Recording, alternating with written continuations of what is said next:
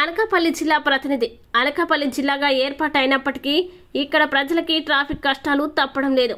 ఇక్కడ ట్రాఫిక్ అధికారులు నిబంధనలు పాటించడం లేదన్న విమర్శలు ప్రజల నుంచి వినిపిస్తున్నాయి. అసలే ఎక్కడ ఉన్నవి? ఇరుకు రోడ్లు. అందులో భారీ వాహనాలు నిబంధనల్ని అతిక్రమించి ఈ యొక్క రోడ్లలోకి రావడంతో అక్కడ ట్రాఫిక్ జామ్ అయి వాహన చోదకులు పాదాచారులు నానా అవస్థలు పడుతున్నారు. ఇక్కడ నిత్యం రద్దీగా ఉండే కాయగూరల మార్కెట్ బండిగాడి వీధి చింతవారి వీధి రైల్వే స్టేషన్ రోడ్లలో వ్యాపార సంస్థలు ఉండడంతో భారీ వాహనాలు లోడింగ్ అన్లోడింగ్ కోసం ఇక్కడికి చేరుకుంటున్నాయి.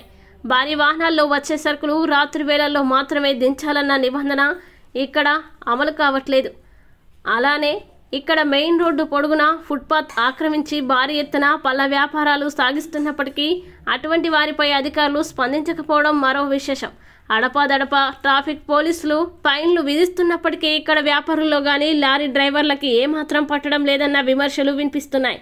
అనకాపల్లిలో విశాలమైన రోడ్లతో సువిశాలమైన సుమారు ముప్పై ఎకరాల మార్కెట్ యార్డు ఉన్నప్పటికీ అది కాస్త నిరుపయోగంగా ఉంది.